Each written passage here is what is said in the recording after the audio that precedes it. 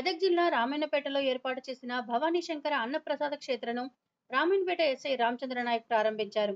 కీర్తిశేషులు కన్నోజు వరలక్ష్మి బ్రహ్మయ్యచారి గార్ల స్మారకార్థం వారి వంశస్థులు నాగభూషణాచారి లక్ష్ముల ఆధ్వర్యంలో ఏర్పాటు చేసిన అన్నదాన శిబిరాన్ని స్థానిక ఎస్ఐ రామచంద్ర నాయక్ ప్రారంభించారు.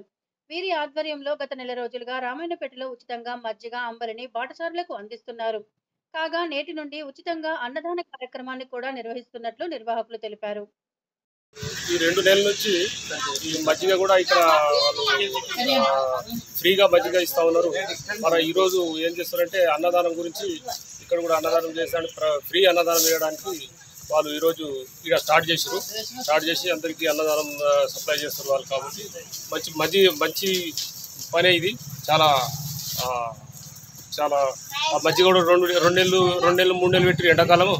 ఇది ఇప్పటి నుంచి కూడా అన్నదానం చేస్తూ ఉన్నారు. చాలా మంచి విషయం తల్లిదండ్రుల తరపు నుంచి వాళ్ళ పేరున ఈ అన్నదానం ఒకటి మజ్జిగ అంబలి ఈ నీళ్ళ దానం అనేది ఒక చేయడం జరుగుతుంది. అందరినీ దాహార్థం దారిత తీర్చించాలని సదుద్దేశంతో సదుద్దేశంతో చేయడానికి చేసుకున్నాను పని. రెండు నెలల నుంచి అక్కడ కూడా జరుగుతుంది ప్రోగ్రామ్ అక్కడ.